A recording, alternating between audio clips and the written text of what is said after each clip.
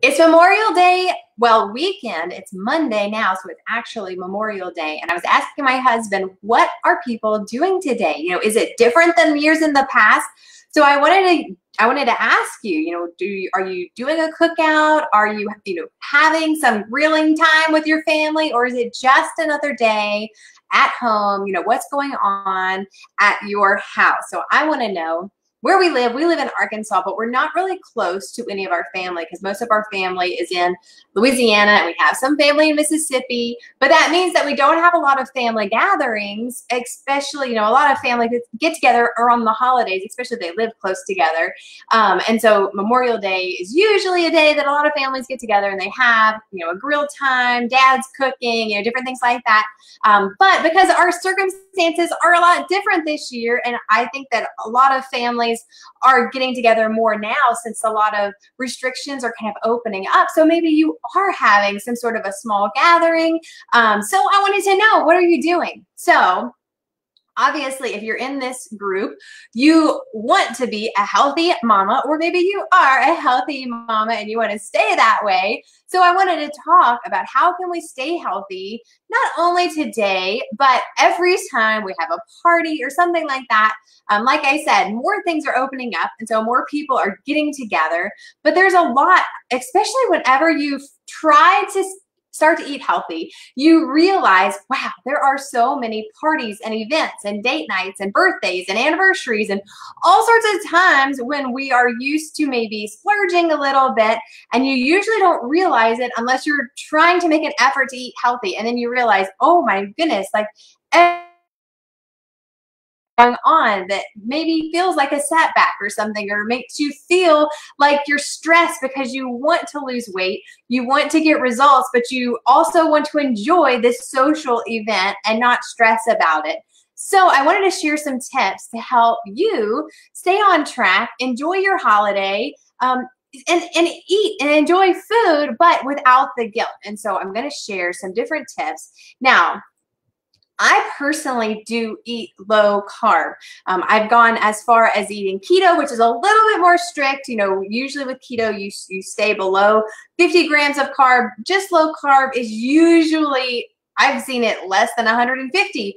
I definitely uh, eat less than that, but if I'm tracking my carbs, it's usually less than 100 uh, carbs per day. But I honestly, I don't even track anything anymore. And once you get in a routine, um, um, what you know what to eat. To stay on track then i just don't track anymore. But if you are just starting and you want to know what foods you know have carbs and different things like that then you might want to track it. And a really good good app i've used for many many years is MyFitnessPal it's free. You can put in your information in there and what macros you want to follow macros are like your fat your protein um, and your carbs, you can track those, um, but it takes a little bit of effort to put your food in there, and I don't want to do that anymore. And so now I kind of have a routine of like what snacks um, are low carb and what are some meals that we eat to stay low carb. Um, how do I fix my plate versus how do I fix my kids' plate? Looks a little different. Um, and so I wanted to share some tips to help you stay low carb even at parties. This works for if you're you know eating out or anything like that. So we're going to focus on the basics of how to stay low carb when you're you're not eating at home. So the first thing that I want you to do is plan ahead. You know, if I'm going to a party or something like that and I don't know what kind of food is going to be there, I don't want to show up hungry. And so I always want to eat something before I go. And so this may be, you know, something as simple as like a Greek yogurt with some nuts or maybe something, um, if you, you want to fill up with some uh, cheese or something like that, some nuts and cheese, something with a little bit more protein and fat, just something so that you're not starving when you arrive because you're never going to make healthy choices whenever you're hungry because that's whenever we go shopping and we buy, you know, the whole aisle eight, you know, and so think about what can you eat before you go? If you're going out on a date or something like that, if you're going out for a birthday party or anniversary, you can do the same thing. You can eat a little snack before you go. So by the time that you get there and your food is there, you can you're not starving, you know, and you can, you know, even save half of your food for later for the next day. You could take uh, what to go um, half of your order and so that way you're not eating overeating because you're so hungry so that's how i plan ahead Another thing is to plan ahead is just to make sure that you're well hydrated, this is a healthy mom tip I always share is just make sure that you're drinking water throughout the day so you're not dehydrated because that's another thing that you're not going to feel your best. You're not going to make healthy choices whenever you are thirsty because a lot of times our body uh, miscommunicates and so it sends a signal and we think that we're hungry when sometimes we actually are thirsty. So always make sure that you drink water, drink a gallon of water, drink half your weight um, in ounces of water if you want to get really specific, but make sure that you're drinking water every day. And sometimes I will make sure that I bring my water with me so that I know that I'm going to have water while I'm there so that I'm not going to go straight to the food. I'll drink some water first, you know, and, and visit and everything before I, you know, start snacking. So so let's get into what to eat. Now, if you're thinking about like a cookout or grill or something like that, there's usually a lot of meat. And so I feel like sometimes it's easier to stay on track whenever it's something like that because you can grab some meat, grab some veggies, and make like an open face burger and just enjoy that it's low carb. Um, I love open face burgers. You can even do cheese and lettuce and tomatoes and just make this little like burger salad.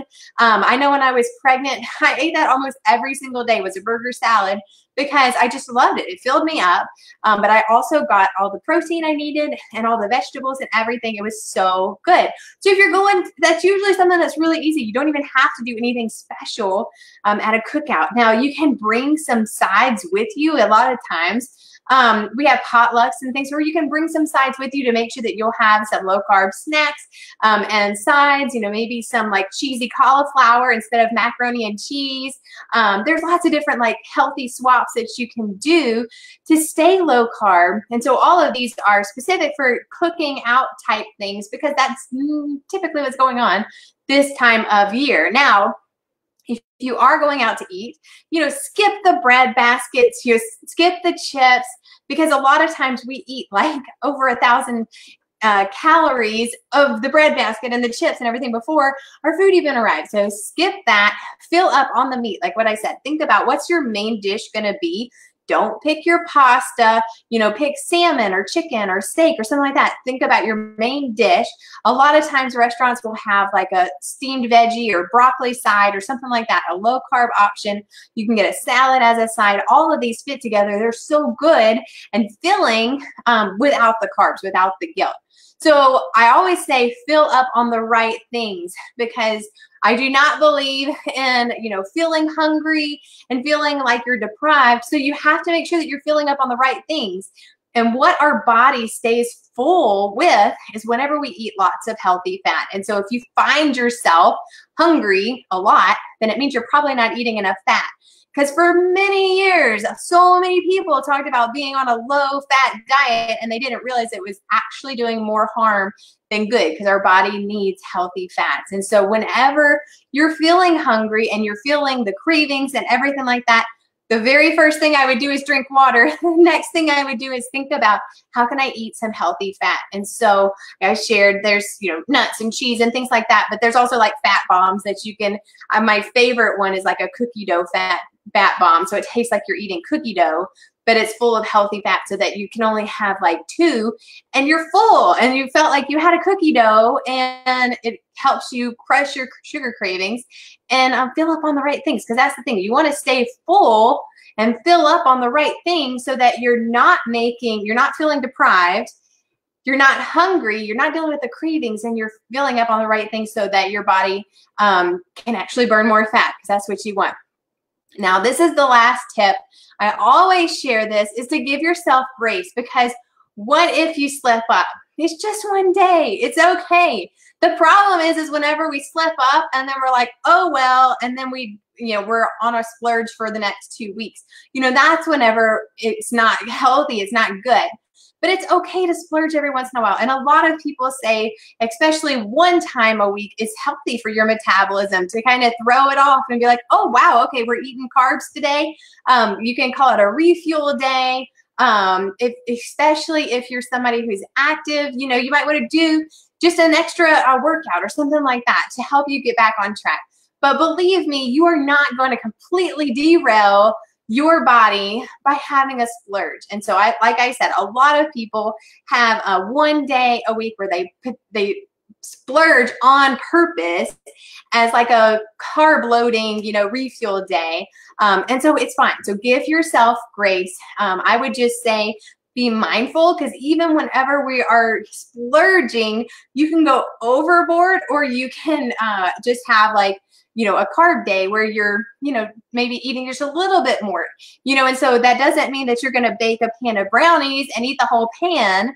It means that you might enjoy one brownie and then that's your sweet for the day, you know, so you know what's kind of a balance, a healthy balance, you know, carb day and what is a complete splurge that does derail you. So make sure that you stay mindful. Um, and a lot of that is just mindful eating, which I have a, a free ebook that's all about mindful eating. And it is just like not letting food control you. Because a lot of times we let food control us. And so that we're like out of control because we're either, you know, not eating or we're, you know, eating all the wrong things. But if you're mindful and you know, okay, well, I'm going to enjoy this brownie and I'm going to, I'm going to enjoy every single bite. And then I'm not to, I'm not to eat a second one. Like I'm, I'm going to enjoy it and that's okay. And so mindful eating is just like enjoying every bite, being aware and not out of control and where like the splurge turns into eating a whole box of cookies or whatever. Anyway, so if you want that, it's a free ebook. Um, you can say mindful eating um, and I can send it to you. Um, but I wanted to let you know, um, you know, sometimes I do splurge. Like I said, I do it, you know, at least once a week. We have date night or something like that, or the kids want pizza, and I'm just like, okay, that sounds good.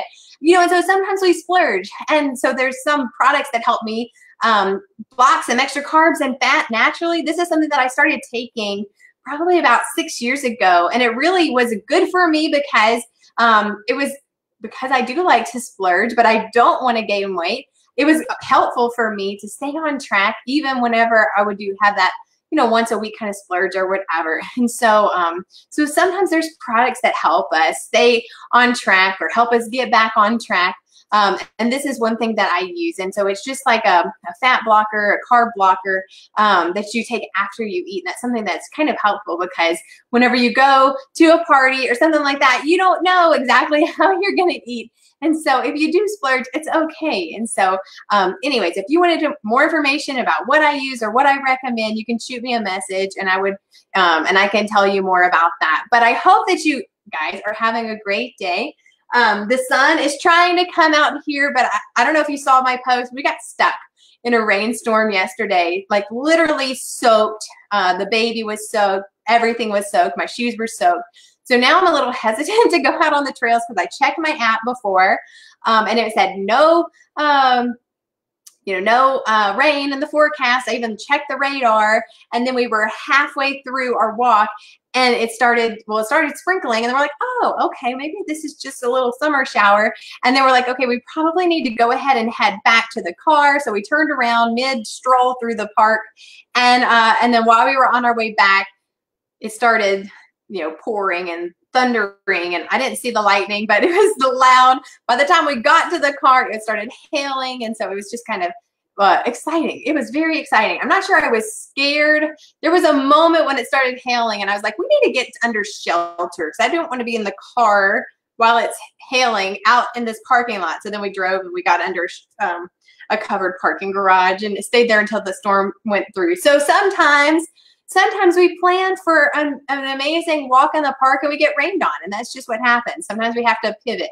But uh, hopefully you're not going to get stuck in a rainstorm today and hopefully you have sunny weather so you can enjoy the outdoors with your family have some time together um, and celebrate the freedom that we have because of the people who gave the ultimate sacrifice, you know, and so it is Memorial Day where we remember all those people that really fought for what they believed in. And, and it's such an amazing time that we have this day that we can um, that we can honor them. And part of the way that they that we can honor them is to remember what they did. And so I hope you guys are spending today with your family